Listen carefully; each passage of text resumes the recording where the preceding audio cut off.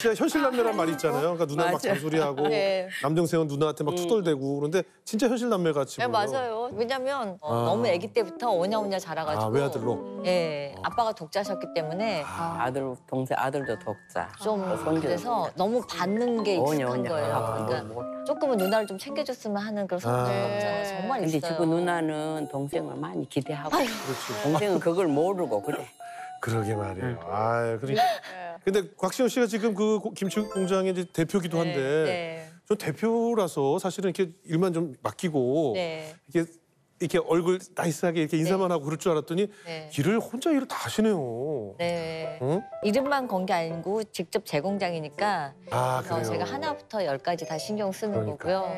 그래서 좀 또 엄마 저 때문에 사실 엄마도 많이 좀 힘들죠.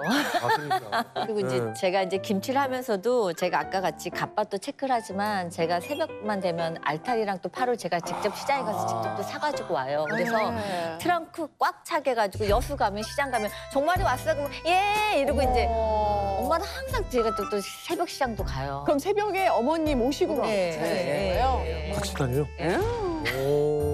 오. 야, 예. 나네 존경한다. 어. 네 시호가 아무라도 되는 게 아니다. 예, 예. 대충 하는 게 없어요. 근데 지금 아까 얘기 들어보니까 무슨 오빠를 만날 시간도 없다는데 무슨 오빠가 있어 지금? 아, 네? 누구 있어요? 아, 그러니까 제가 이제 공개해도 돼요?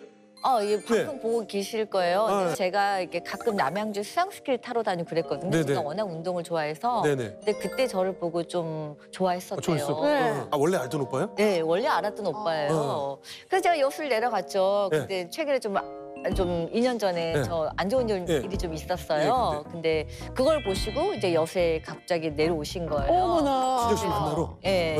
어머나, 어머나. 그래서 지금 어떤 어떻게 어, 그래서? 지금 어떤- 오빠랑 썸 타고 있어요. 어머, 아, 죄송한데 어머, 어머, 네. 어머. 썸은 2, 30대들이 아, 타는 그래요? 거야? 아, 그냥 썸 타. 그 나이에 괜찮아. 무슨 썸 아, 타? 좋지, 좋지. 뭐. 뭐라고요? 아, 몇 년 전에 그냥 훈대 환- 환갑인데 무슨 썸 아이고, 타냐 썸 빨리 타, 타. 괜찮아. 빨리 기다려봐. 어울리지 않아요? 그냥 빨리 씹 올리고 빨리 아우, 살아. 됐어, 됐어. 근데 잠시만요.